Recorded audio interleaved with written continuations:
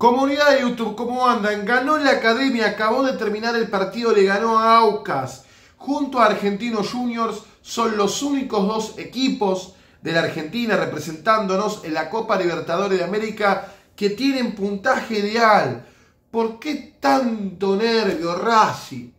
¿Por qué tanto nervio? ¿Por qué esta atmósfera de tensidad constante que hay en la academia que parece a todo nada? Este espíritu de mufa de los 90 que parece entrar en algún momento, este sufrir de más. Creo que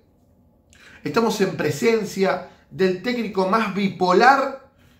que está hoy por hoy en la Argentina, que es Fernando Gago. Gracias a Gago Racing ha mejorado, gracias a Gago Racing ha perdido campeonatos, gracias a Gago Racing ha ganado campeonatos y gracias a Gago está este mal humor constante en los hinchas de Racing. Lo cierto hoy, la academia comenzó muy bien el partido jugando contra el rival más picante que le tocó eh, a los equipos grandes. Es verdad que Argentino jugó con Corinthians,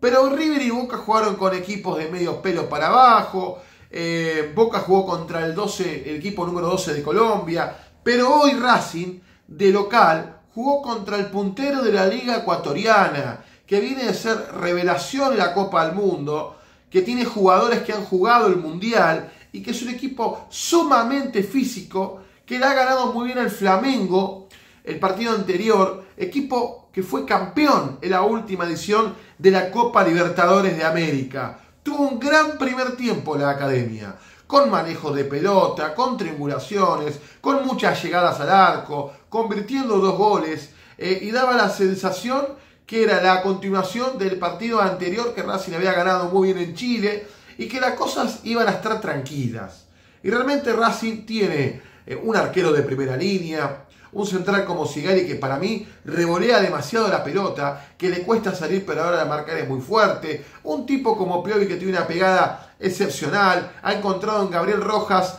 refuerzo, una salida importante, Mura por el otro lado, a pesar que a mí me gusta Pichud, creo que hay que Entender que en Racing se han caído jugadores como Aníbal Moreno, como Carbonero, que era el que le daba cambio de ritmo en el ataque a la academia, que se han ido jugadores importantes en el semestre, y que los que han entrado no han entrado tan bien, que Pablo Guerrero en modo Copa Libertadores parece rendir siempre y da el salto de calidad que, quería el hincha y que quería sobre todo eh, el manager y el cuerpo técnico. Y Racing tiene un plantel como para pelear el campeonato argentino, como también para pelear a la Copa Libertadores de América. El tema es que en el campeonato local tuvo dos derrotas consecutivas e Independiente que tenía en el piso para fusilarlo, le tendió la mano y lo levantó jugando con mucho miedo el superclásico de Avellaneda. Entonces es normal los bullicios, es normal el descontento del hincha de Racing, que a veces eh, lo aplaude a Gago y a veces lo silba, que planteó un gran primer tiempo e insisto con mucha tenencia de pelota, pero en el segundo tiempo el conjunto ecuatoriano con mucha vehemencia, fue a buscar y por errores propios, sobre todo de la academia, llegó a empatarlo 2 a 2. Y parecía que esas tardes que tantas veces a principios de la década del 2000 y sobre todo en los 90, y me animo a decir los 80, que a Racing lo, lo tiramos de equipo mufa, que siempre le costaba, que siempre sufría de más, que siempre terminaba perdiendo los partidos de alguna manera, el equipo académico pudo en el final encontrar tras un gol en contra la victoria. Parece que el mismo Aucas, con nervios por jugar en Argentina, por jugar en el estadio Juan Domingo Perón en Avellaneda, no pudo coronar de la mejor manera y Racing es un equipo que tiene puntaje ideal, que apunta a la Copa Libertadores de América, que parece casi afuera del campeonato argentino, sobre todo por cómo está jugando hoy por hoy el Club Atlético River Plate, dirigido por Martín de Michelis, y que todas las fichas van a ir a la Copa Libertadores. Dijimos,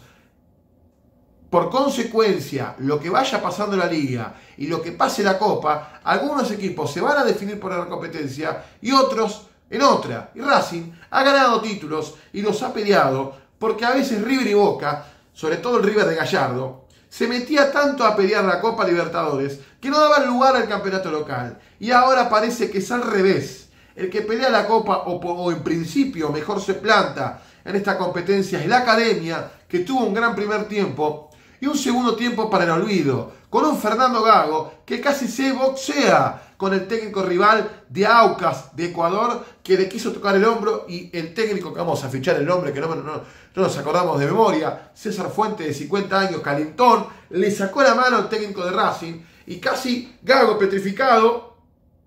lo ganó la emoción. Se debe calmar Gago, que realmente está armando un equipazo, que tiene un presidente que es un mafioso de aquellos, que consigue guita de todos lados y le arma un equipo para que pueda pelear todos los frentes Racing. Y Racing cuando no llega a una final la inventa como Abu Dhabi, Racing apuesta a la Copa Libertadores, ha traído a Pablo Guerrero, hay que hablar también de que Racing lo han perjudicado con la expulsión de Maxi Morales, que intenta patear un balón y cuando baja el pie eh, sin querer le mete un planchazo eh, al jugador ecuatoriano, jugada de bar, van al bar, la miran, ven el contacto y, automáticamente lo expulsan a Morales. Para mí no era para echarlo eh, al, jugador eh, de la academia, que debe jugar más, que debe tener más minutos, que vino a ganar la Copa Libertadores, que no sé qué carajo pasa con Gau, que no juega, pero el rato que tuvo no lo aprovechó, lo expulsaron de manera injusta a Morales, que es un jugador que le sobra para jugar el Racing, hizo las inferiores en la academia, le ha ido muy bien donde jugó, vino bien físicamente, marcó la diferencia de partido en Abu Dhabi con Boca y tiene que ser titular.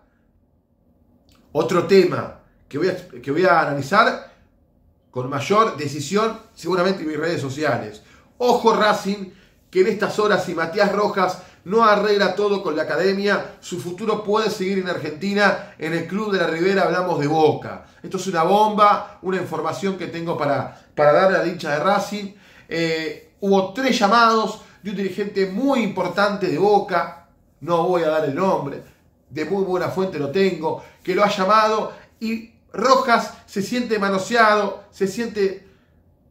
no muy contento en las últimas horas, porque pasa los días, pasa las horas, y el jugador rinde dentro del campo de juego y quiere renovar con Racing y Blanco no le renueva y la orden de Blanco era colgar al jugador hasta que renueve. Gago se paró de manos y dijo, si quieren que yo sea el técnico, voy a poner a quien yo crea mejor. Y ese es Rojas, que es el jugador más importante por momentos de Racing y del fútbol argentino, que puede llegar a jugar en Boca. Recuerden